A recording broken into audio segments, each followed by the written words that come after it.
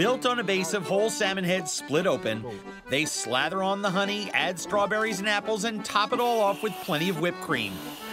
Uh, with a side of porridge. It's the new Nordic cuisine. They take this royalty thing seriously. Nobody is doing bear cuisine.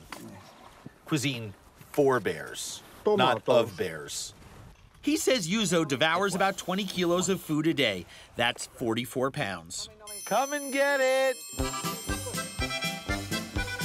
Juuso, come here, buddy.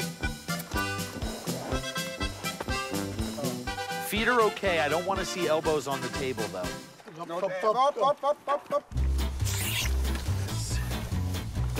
They love the whipped cream.